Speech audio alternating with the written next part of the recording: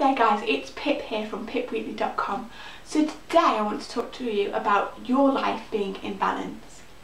Now of course why do I want to talk to you about this? Well your life being in balance means that you feel more happy, you feel fulfilled, you feel like things are in flow um, and I'm sure you've all experienced it. Do you know that moment for example when you're having a really really good time with your friends. Maybe you're out at the bar maybe you're around somebody else's house and you're just sat there and the conversation is flowing. You're really really connecting with people. And you kind of have that magical experience where things are just effortless. So what are the benefits of your life being in balance? Well as I say you do feel a great deal better about yourself. Um, now I just wanted to ask you before we begin do you remember a time when you felt the opposite of being in balance. Maybe a time when you were very, very stressed.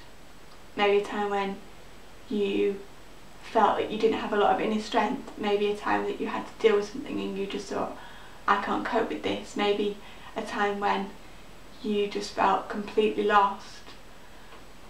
And if you contrast those two kind of feelings, a feeling of elation compared to almost a feeling of despair if you like, often the difference is balance. And the reason that our balance um, is, you know, can fluctuate so much is because we are, we are all different people. Um, you know, do you remember at school, you know, you were put into a class with say 29 or 30 or so other students and all, they were all so different. So something that, for example, one person would find very easy, say in maths, another person would find very, very difficult. Um, and so that just goes to show really from a very, very basic point of view that we are all different and our personalities play a huge part in that, the way that we grow up plays a huge part in that. Um, our perceptions about ourselves and what we come to believe about ourselves often um, that I believe is taught in childhood and, and can be changed as you go through you know, your teenage years, becoming a young adult. Um, and but it's not just about being in balance in terms of say your social life, being with your friends, seeing them enough to make you happy. It's also things about uh, your finance, um, you know, your spirituality, which a lot of people think has to do with religion, but it doesn't. You know, your physical, um, not necessarily appearance, but your physical fitness. Um, you know, I'm sure you've all experienced a time when maybe you didn't do a lot of exercise and you didn't feel that great about yourself. Maybe eating junk food as well and you just thought, you know, you don't feel great and then you start to stop out on the sofa because you feel you haven't got the energy, off the cycle goes. So uh, it's, it's really difficult and striking this balance isn't easy because as I say we're all different. So for me for example, um, my balance at the moment is working quite well. So my work-life balance I work four days a week and then I have three days off uh, in which to shoot videos like this, share uh, my thoughts, share my insights from my life with you guys so you don't have to go through the struggle. Um, and that works out really well for me. For other people that wouldn't be enough, uh, for some people that would be too much, um, depending on each of our individual circumstances. I just want to ask you right now, do you know what the right balance is for you? Now a lot of people think that the best way to relieve stress is to um, you know lie on the beach and uh, not do very much. Um, but the truth is, ironically, for some people that would actually be super stressful. It would actually create stress because they would feel like you know they're, they're get from go people. They need to to be doing things. I'm sure you've all heard of the different personality types. You know, red, very fiery, yellow, um, kind of you know very, very happy, bubbly, family orientated. Um, you know, and then you've got green and blue, so, so what is your vision really, see long way into the future. The other one is very analytical, likes to have all the detail. So again, um, what you think would release stress uh, and create balance doesn't necessarily do that. I just want to um, highlight a point to you here, and that is to say, how many of you, uh, maybe you yourself have done this, have had a stressful period at work, gone on holiday, right? Enjoyed yourself on holiday, just got to that point where you've just, you're starting to feel really good again, you're feeling fresh, batteries recharged. You come back and then you're back at the same old workplace. How many of you done that? Easily done, isn't it? And you see people do it all over the world. Um, I remember recently watching a, a video um, by um, a team who, who actually have the same sort of business that I do. They're in the, same company. Um, they were in, corporate Britain. Their names are Greg and Fiona Scott. And so they go on a lot of holidays now. They really enjoy themselves, they travel all over the world. Um, they're a really supportive couple, really support each other. Um, really support the community as well as the business that I'm in with. Um, but I remember watching an interview once and at one point Fiona Scott was talking about um, her corporate life in London and you know she she was obviously um, I mean she she did she did figures um, and she was very successful at it you know. She obviously had a, a very high flying well paid job.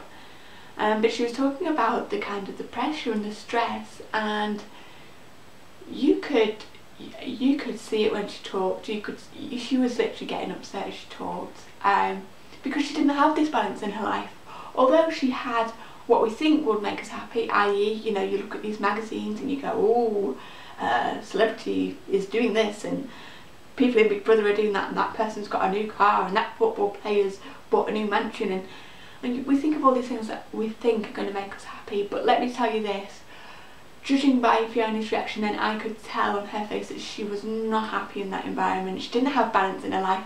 Yes, she had a lot of money, but things were out of kilter. Hadn't, the money had not bought her the lifestyle that she thought it would. And so many people go into this idea that the more that you earn, happier you will be. Let me tell you this, it's not necessarily the case. Um, when I listen to, for example, um, the guy who did this book, Motivation Manifesto, this is by a guy called uh, Brendon Burchard. He is a motivational speaker. Uh, he is a number one New York Times bestseller. Uh, he's done more books than this. Um, this is a wonderful book. Get this by the way. It comes with a, a free course. Um, very, very interesting book. Mine's a little bit battered. I tend to put it in my bag. Um, but he and, and actually quite a lot of others, even, you know, uh, Tai Lopez, maybe you've come across him, Les Brown, um, you know, and all these, um, you know, authority figures, um,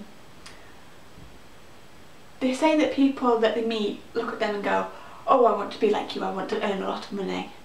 But the truth is about money, it's not actually the money that motivates you, and a lot of people go? What do you mean it's not the money that motivates you? Of course it is. Of course I want a lot of money. No. The truth is, it's what you do with that money. It's what you do with that money. See, a lot of people think they want more money, but actually what they want is more time. They want more time freedom. They want more time to just go out and chill. They want more time with their friends. They want more time with family. They want more time just to relax and kick back without having to worry where the money is coming from, right? So and the difference is, you, you might be thinking, hang on a second, you've lost me here, what's the difference? Well, so think now, you've got two choices. I, I came to you and I'm, I'm like a magic genie, right? And I can offer you a wish. So you can have wish number one, and that is, you can have a million quid in the bank, right? But to do that, you've got to promise me that you're going to work for 40 years, five days a week, you've got to work nine hour shifts, okay? Every, every week for 40 years, okay? And it's going to be a very, very uh, responsible role. Um, you're going to be CEO of a company, right? Um, uh, and you'll get a million quid. A lot of people go, yeah, that sounds good. Okay, but you can have Wish B. And Wish B is, I'm not going to give you a million quid, right? But I'm going to say to you, you can have at least a half a day off every day. Half a day every single day, okay? You've got to work the morning, or work the afternoon, but the rest of the day, that's yours. Four or five, five hours a day, right? Five days a week, 40 years, let's keep it the same. You won't have a million quid in the bank, but tell you what, you'll never have to worry about money again. You won't be super rich, but I tell you what, you won't be in one, you won't be worried. You'll have that time to do what it is that you want. which one would you rather have? A lot of people, you see, the funny thing is at this point, a lot of people go, well, I'd still like a million quid.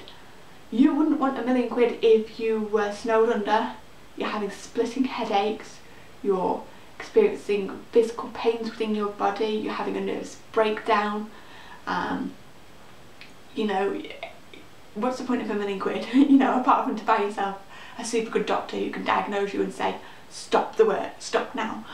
Um, you know, it's, it's crazy. And a, a lot of successful people do look like you know the money is a big part of it and it is but you can't the see the secret is you you don't you have to be successful before you make money okay? When you're successful you make the money okay? A lot of people had this the wrong way around think when you make money you're successful that isn't the case you see say let's take let's take a great example that we've all heard of Walt Disney right the Walt Disney classics Disney so you've got your Bambi, Pinocchio, um, Dumbo, all that sort of stuff and many, many more. Walt Disney, let me tell you, everybody knows his name. If you said Walt Disney, you know, even in another country, people would probably go, oh yeah, you know, heard of him. Uh, would you consider him to be successful? Most people would say yeah. Most people would. Walt Disney was financially bankrupt seven times. Okay? Seven times. He had two major nervous breakdowns is that successful? Okay, so it's not just about the money. Um, so you've got to get everything in balance, and I just really want to share with you um, a few of my bits of knowledge today, just to, to let you know if you're heading down the path where you're going money, money, money, money, money, it's not all about the money. What do you really want? What do you um, what do you want to do with that money? What, what if you could buy say if you could buy time with money, right? What would you do with it? where would you go? Who would you go with? You know, it's not, you know, you wouldn't, yeah, okay, like, you know, you just see these people who, you know, had throw this money up in the air. Well, you know, you hear people who win the lottery and they bump, they lose all their friends, or, you know, they're not going to spend the next 30 years throwing money up in the air. They're going to want to do something with it, right? Because that's, that's our lives, we want to expand who we are. And I'm not saying that money doesn't take worry away, it certainly does, um, but it's it's about how you use the money, okay? And and you can't sacrifice your soul for money, okay? Because actually, in in my opinion, and actually in the opinion of many people who've been down that road and had major nervous breakdowns, they will tell you it wasn't worth it, okay? Because you can't necessarily earn your health back, okay? You can't undo that experience of having a nervous mental breakdown. You can't undo, you know, that that feeling of got to go to work again in the morning. I think about, for example, uh, one of the co-founders that helped me in, in setting up my business, um, an amazing guy called Stuart Ross, and he set up uh, and founded the company that is now helping me to create balance in my life, um, because he uh, was literally he, he was in real estate. He was um, you know homes, um, doing lots of selling, doing very very well working very, very long hours. Uh, I think he said at the most it was about 11 hours a day. Um, and he said quite honestly he was having panic attacks. Um, thinking about going into work the next day, you know, it, it wasn't good. Um, even though the money was. So I just want to give you that as a take home really. Um, and if you've ever thought about maybe like more balance in your life, maybe you are a really hard worker, most of you are I know. Um, but maybe you're just thinking, oh, I've got, I've got, the kids and I've got my job, or I mean, in my case, I don't have kids, but just having a job and looking after the house and you know, just keeping up with people socially, it, it can be a lot at times, um, even those small few things. Um, and if, if you ever, you know, would like some help on that, if you fancy meeting somebody like Stuart Ross, who who helped me and, and I'm pretty sure help you, um, you know, he's, as I say, he's helped people who've been in corporate London and who have been on damn good figures, let's just say, and they decide to quit and do something else.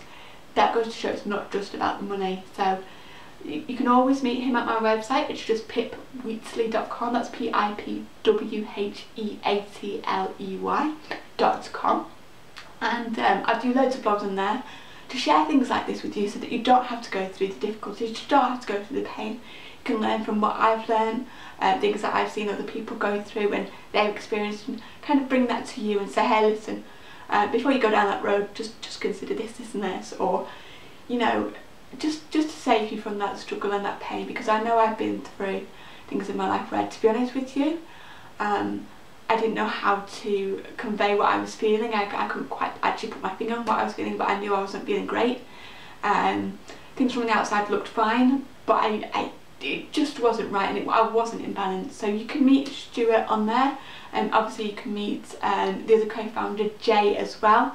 Uh, they will explain to you um, what they're doing and, and you know we've got a few videos on there that uh, if you do want to find out more just pop in your email we'll send um, a couple of videos to your inbox so you can watch them as and when you want, bit them around your lifestyle because I know you've got things on the go right now as well and um, you know, I'm pretty sure that they could help you, but it's really up to you. I can't say for definite it's going to be the right thing, but do at least give yourself the chance of getting yourself the education and uh, and that freedom of choice, really. So that's all from me. I hope you found that useful, and until next time, you take care. Bye now.